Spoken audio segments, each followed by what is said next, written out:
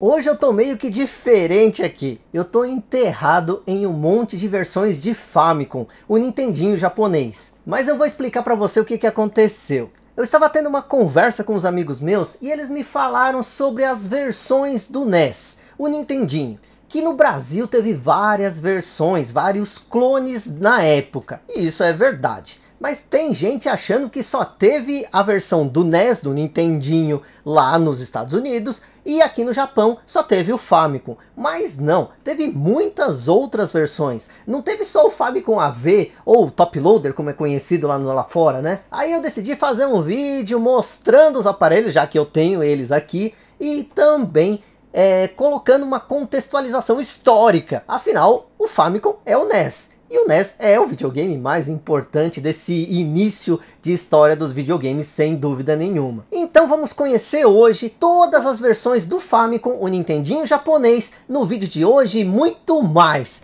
Então, bora!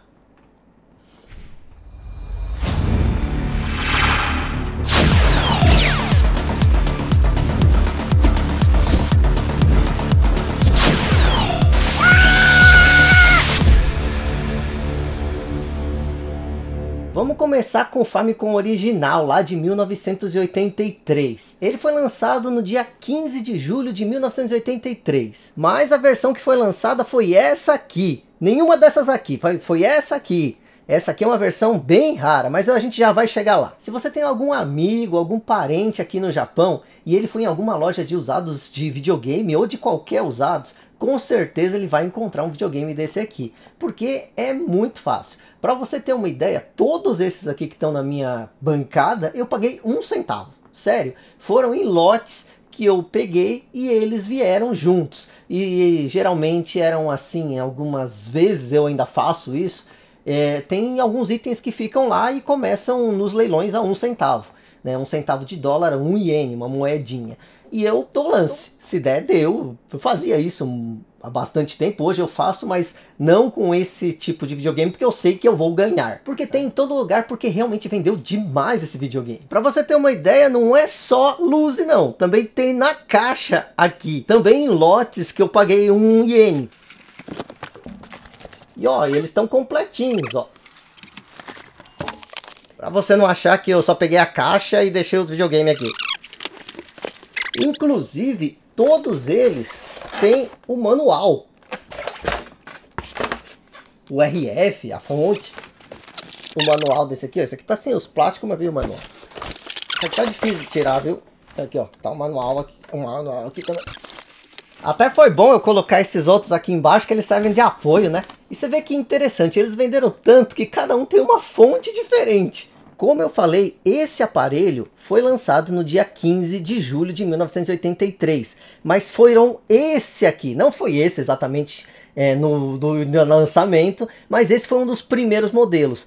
Por quê? Olha, ele tá branquinho, tá reluzente ainda, hein? Esse aqui é o famoso Famicom de botões quadrados. Quando o Famicom foi lançado, esses botões quadrados machucavam a mão das criancinhas. E aí teve muitas reclamações. Outra reclamação é que essa parte de trás, vocês estão vendo que ela é lisa, ela escorregava muito fácil dos móveis que se colocava ele em cima. Vou fazer aqui uma comparação com um desses que estavam aqui na bancada, mesmo estando amarelinho. Olha como que é liso, olha como esse já tem uma superfície mais áspera. Esse aparelho aqui é muito difícil de encontrar, inclusive aqui no Japão. Nossa, é muito difícil mesmo. Para você ter uma ideia, esse aqui tem uma história curiosa. Esse videogame eu estava procurando e eu não encontrei, mas encontrei no eBay. E aí eu comprei, porque estava num preço razoável, né? E quando eu dou o lance, é, o videogame demora para chegar. E não é muito comum aqui no Japão isso acontecer. Geralmente você compra dois dias depois já tá lá na sua casa. Eu não estava preocupado em um vendedor não, não mandar, porque era só pedir o dinheiro de volta, um reembolso e tava de boa. Mas a minha surpresa foi que esse videogame veio do Canadá. Isso mesmo. Eu comprei no eBay, paguei o frete, o frete foi barato, não foi caro, e ele veio do Canadá para cá, para o Japão. Então quer dizer, ele foi comprado aqui no Japão, foi para o Canadá e eu recomprei de volta. E foi uma grande surpresa, porque eu achei que era aqui do Japão. Inclusive, esse aparelho estava mais barato lá no Canadá do que aqui no Japão. Se você olhar aqui, ó, a caixa é diferente, porque aqui ó, os botões estão quadrados e aqui na caixa os botões estão redondos. Aqui também, ó, você vê que esse primeiro modelo de botão quadrado tem poucos jogos na embalagem, né? E aqui também, ó, você vê que tem mais jogos, muito mais jogos que naquela embalagem do botão quadrado. Inclusive, ele tem diferenças também nos manuais. Eu até fiz um vídeo aqui no canal bem antigo, mostrando também os manuais e tal, e algumas curiosidades. Aí depois, em 1986, é lançado o Famicom Disk System, que não dá para dizer que ele é um console, mas ele era um periférico do Famicom. Só que ele era um console, porque naquela época eles pararam de produzir cartuchos, pelo menos aqui no Japão, né? Eles, eu digo a Big N, a Nintendo, tá? Porque teve uma crise do silício e esse material ficou muito caro e encareceu muito os jogos. Em razão disso, eles tentaram mudar para o disquete para uma coisa mais barata, né? Só que também aqui uh, acontecia um problema que acontecia no mundo inteiro, que era exatamente a pirataria. Porque não era bem uma pirataria, até porque não se sabia muito bem o nome que ia se dar a isso. Mas os discos eram gravados eh, nos disquetes comuns que a gente via nos anos 90 aos montes. E a única diferença era que os disquetes, até tenho aqui, pera um pouquinho. Ó, os disquetes têm umas ranhuras. Opa, deixa eu tirar meu rosto daqui, aí vai ficar mais fácil. Ó, o disquete tinha umas ranhuras escrito Nintendo. Essas ranhuras que eram é, o a trava de segurança, digamos assim, né? E aí eles conseguiam fazer disquetes que simulavam essas ranhuras diferentes de cada letra da Nintendo. E aí, qualquer um podia jogar no Famicom Disk System, era só copiar a ROM do jogo e tal. O Disk System lançado em 1986 foi esse modelo aqui. Essa caixa aqui que se abre por cima, assim. Mas o aparelho em si é o mesmo, né? Aí depois foi lançado esse aqui, em que a caixa não é aberta por cima, ela é como um videogame mesmo, você tem que tirar desse, dessa, desse modo aqui, né? E aí, aqui dentro tem todos os manuais e tudo do Disk System. Por que que tem duas embalagens? Exatamente, teve um recall também deste modelo aqui. Porque ele tem uma correia, né? Uma correia que é o maior problema, é um problema crônico de todo o Disk System. Essa correia, ela é muito frágil e ela também desregula, não sei como que é tal. Mas é, ele também teve muito problema com isso. E aí eles colocaram essa nova embalagem corrigindo esse problema, mas que não corrigiu muito não, porque realmente os Disk System têm esse problema. Disk System também, ele é a mesma coisa do Famicom. É, você encontra em qualquer lugar. Esses dois mesmo aqui também foram em lotes e foram bem baratinhos. Esse aqui, da, da primeiro, do primeiro modelo, eu tenho certeza que foi um centavo, porque eu não queria ele. Eu só fui descobrir que ele era do primeiro modelo, é, porque eu vi que era diferente e aí quis saber por quê e aí fui descobrir que era isso. Mas este aqui eu não, não quis, eu não paguei é, um centavo, tá? Eu paguei um pouquinho mais, mas eu não me lembro quanto foi, mas foi baratinho também, porque se não fosse eu não pegaria. O leilão tem essas vantagens aqui no Japão, né? Se você pega algo que é muito popular, é fácil de você pegar ele, mesmo que alguém queira, ela não vai brigar por um preço tão alto. Eu mesmo não brigaria por um preço tão alto por um Disk System. E muita gente fala do Megazord, né? Mas dá para fazer um Nezord também aqui, porque é, teve, teve o Datat, teve também o modem, teve também o teclado, né, que era era era em Basic, né? Tá me fugindo a memória, tô ficando velho. E aí, desculpa porque esse vídeo aqui não tem roteiro não, viu? Isso aqui é coisa que tá, eu tô lembrando aqui e vai ficando assim mesmo. Então dá para fazer também um Nezord. Vou ver se eu faço e posto nas minhas redes sociais. Então, se quiser ver o Nezord, você fala aí, quero ver o Nezord. Aí eu coloco aí nas minhas redes sociais, é todos arroba Vitorisui. Aí chegamos no queridinho da galera. Isso aqui é um videogame que desde que eu cheguei aqui no Japão, todo mundo pergunta, é fácil encontrar um Famicom AV? É isso? É fácil encontrar? Famicom AV foi lançado em 1993. E aí, como o próprio nome diz, né, tá escrito Como o próprio nome diz, né? Tá escrito aqui, ó. Ele é AV áudio e vídeo.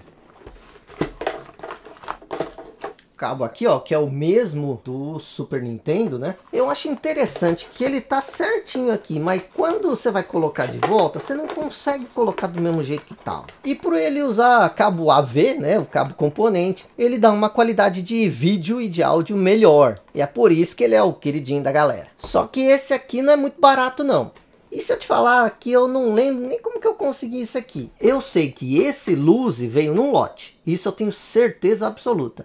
Mas esse na caixa eu realmente não me lembro. Tô ficando velho. E como eu falei, aquele não é muito baratinho não. Então, é, às vezes é mais fácil encontrar ele aí no Brasil do que aqui. Não, não tô dizendo que é difícil de encontrar, é fácil de encontrar. Eu tô falando que o valor compensa pegar aí no Brasil mesmo. Agora nós chegamos a uns aparelhos top mesmo. Se você quiser um aparelho Famicom, eu falo para você, comprar esse aqui. Esse aqui é o Sharp Twin Famicom. É claro, né, pelo nome já diz, ele foi produzido pela Sharp em parceria com a Nintendo. E ele combinava um Famicom e um Disk System junto, no mesmo aparelho. E isso aqui é uma coisa que é básica, tá? Mas que muita gente é, não sabe por não morar aqui no Japão ou conviver com as coisas aqui. Sharp é uma marca sinônimo de qualidade aqui no Japão. Isso até hoje, viu? As televisões Sharp, elas são um pouco mais caras que as outras marcas que tem por aí. E se você conhece alguém que tem esse aparelho, você pode ter certeza, ele vai funcionar.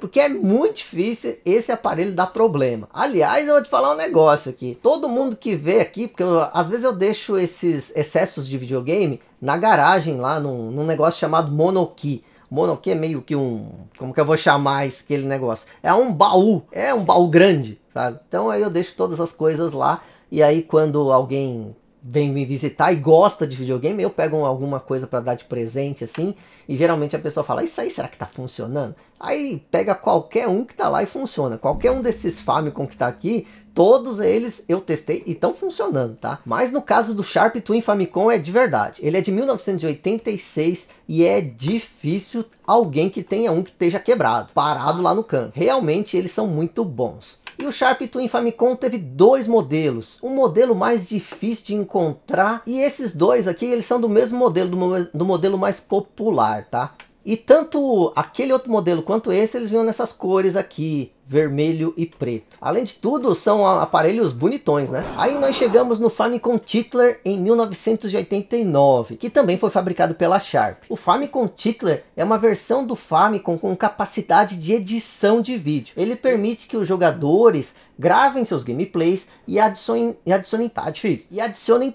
texto e outros elementos gráficos. Esse modelo é principalmente para profissionais de vídeo da época, né? E ele é sem dúvida o Famicom que foi comercializado mais raro. O Famicom Titler, ele não era só para o Famicom. Ele tem entradas e saídas então ele servia para colocar outros videogames também, exatamente para colocar aquelas legendas, aquelas coisas que qualquer programa de edição de vídeo hoje faz com toda naturalidade. Mas naquela época era mais difícil, né? Principalmente capturar as gameplays. E então esse aparelho permitia isso. E mais do que isso, permitia capturar gameplays de outros consoles, porque ele tinha, como eu falei, uma entrada e uma saída.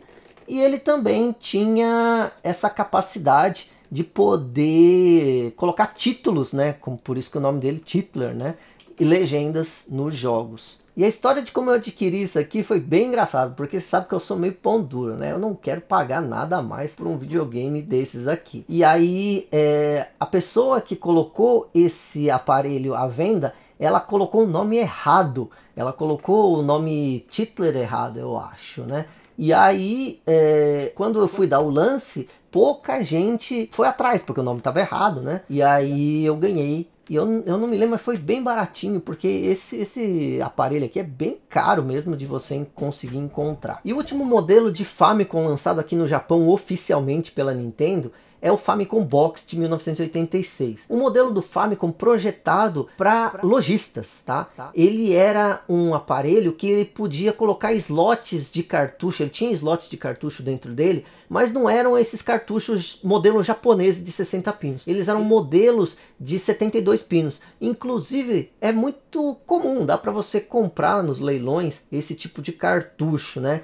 É, e eu tive a oportunidade de jogar e de ver um Famicom Box quando eu fui é, lá para Super Potato.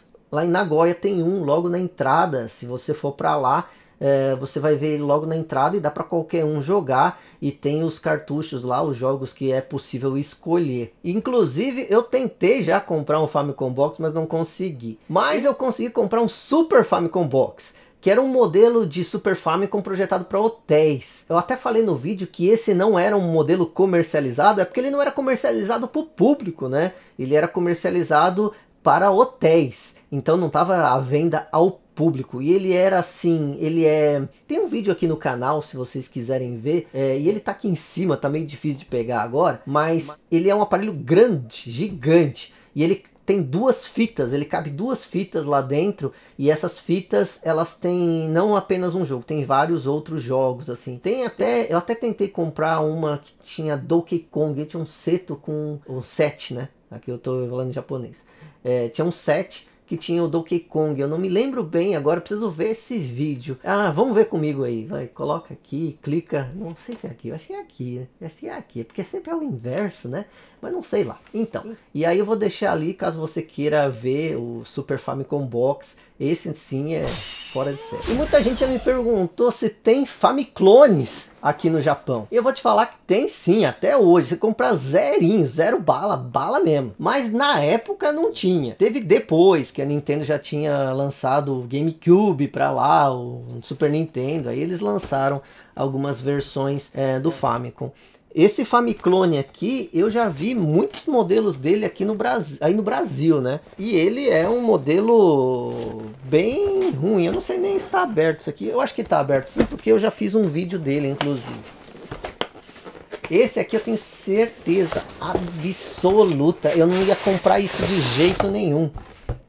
Ele tá faltando a pistola aqui, ó. Mas isso aqui é um Famiclone. Aqui. Vocês podem ver que ele tá novinho aqui, porque eu nem... Ele tá até com cheiro de plástico novo.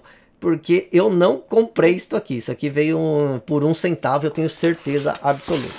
E esse Famiclone aqui, eu comprei pelo formato. Eu já fui em restaurantes é, principalmente em cafés, que tem esta mesinha aqui e que tem é, geralmente algum jogo clássico. É, na que eu fui, tinha o Space Invaders. Eu até fiz um story lá no meu Instagram é, que eu podia tomar um café e jogar Space Invaders. O problema era que não era de graça, tinha que colocar lá a moedinha de Hakuen. Olha, eu tenho certeza que vai dar ruim, porque eu nunca abri esse troço aqui.